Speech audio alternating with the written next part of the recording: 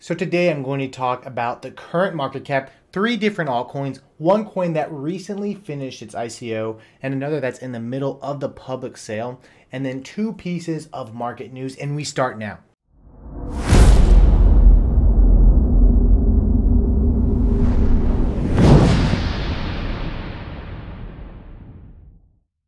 Welcome to another video of Altcoin Picks. If this is your first time here and you want to keep up with everything crypto, then smash that subscribe button. And of course, please smash that like button. Also, don't forget to check out our Twitter where we've been posting daily everything we can think of, whether it's questions, suggestions, video ideas, ICOs that we love and that are upcoming and we're excited about.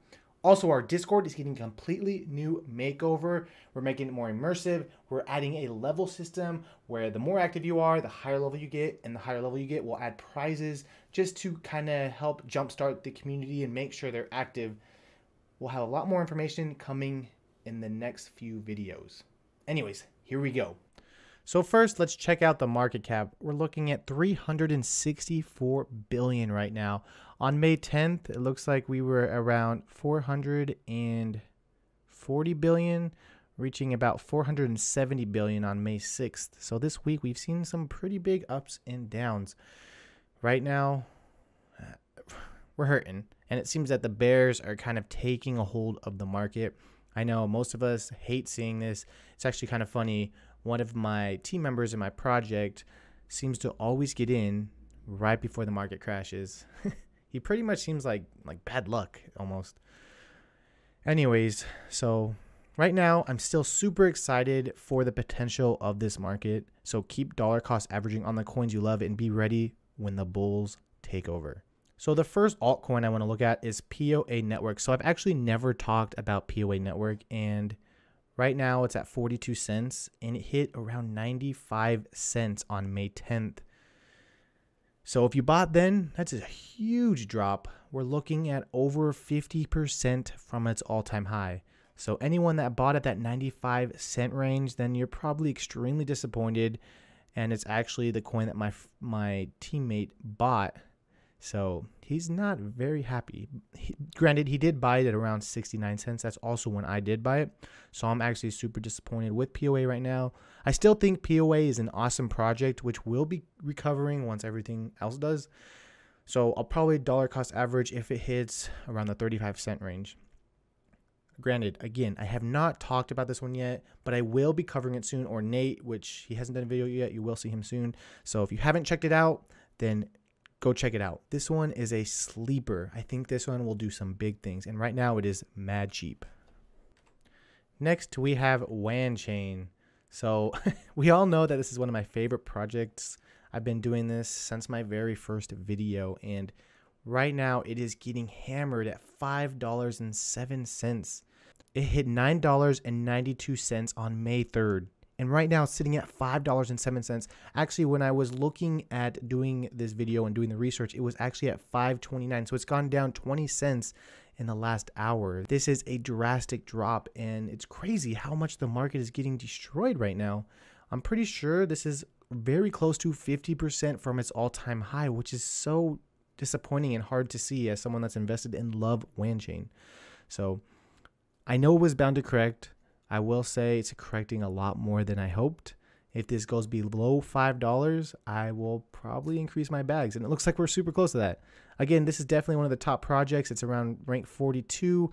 I personally believe, and I know many people believe this will be a top 10 coin.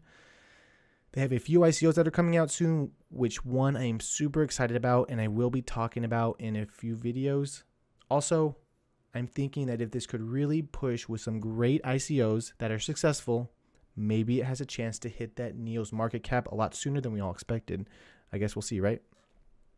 The last of the altcoins I want to talk about is Bibox token. So this one's actually gone up while everything else has been crashing.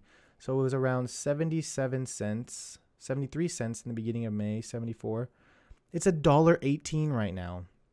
Now was $1.22 when I was doing my research about an hour ago, but that's still a huge jump. While everything is going down to 50% from its all time high, Bibox token has been going up almost times two.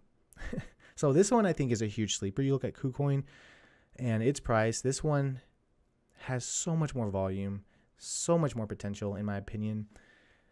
But I guess we'll see, right? Next, let's talk about Unibright. So this one has finally got on CoinMarketCap. They released their tokens on May 20th and it began trading on IDEX.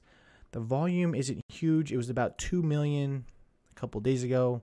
We're looking at a little under 1 million now for being on such a short period of time trading and on IDEX, that's not too bad. So I am a bit disappointed with this project with the news that came out that the circulating supply will be around 141 million.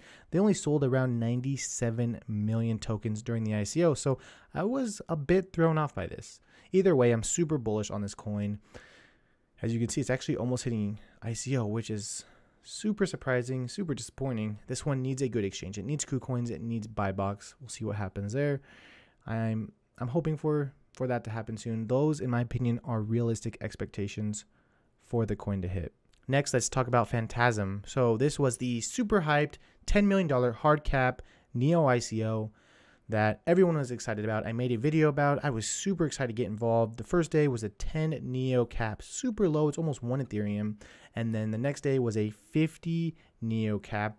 Well, first day happened. People submitted their Neo. Then they decided to postpone their public sale because they detected an issue with their smart contract. They stated the sale will not be continuing today, but will be postponed to the near future. Every whitelist participant who hasn't contributed yet will have 24 hours to buy SOUL tokens when it starts again. The correct of the correct amount of tokens were distributed to whitelist individuals who already participated. So I don't know what's happening here. Sounds like they have an issue. The ICO was going flawless. The Telegram was able to completely mute the channel during the sale. I'm assuming it was because of their bot, something that every ICO needs to do. Super important. Still, I'm super impressed by their whole ICO process. I hope they're able to get everything right and do great. So, our first piece of news we have the mayor of South Korea's capital of Seoul, I think that's how you say it, pledged to increase support for blockchain development as he pitches for re election in June. So, Mayor Park Won-soon has been mayor since 2011 and is seeking his third term in office, announcing his commitment to help the city's Mapo district become a center for blockchain incubation. He pledged to turn one of the complexes, Mapo FinTech Lab into a de- into a dedicated hub for fintech and blockchain development. This is consistent with his remarks in April, where he claimed that the city would seek to apply blockchain tech across various public services, including municipal administration and government subsidy management, to increase convenience for the public and governance transparency. So earlier this month. Park also revealed his plan to develop the city's own cryptocurrency called S Coin, which would be used in city funded social benefit programs. He's also indicated that Seoul could launch a dedicated fund to support the growth of blockchain startups. So this is great to see. The more support we have for crypto, the better it is for the whole entire market as a whole. I love seeing news like this, and I'm sure everybody else does too.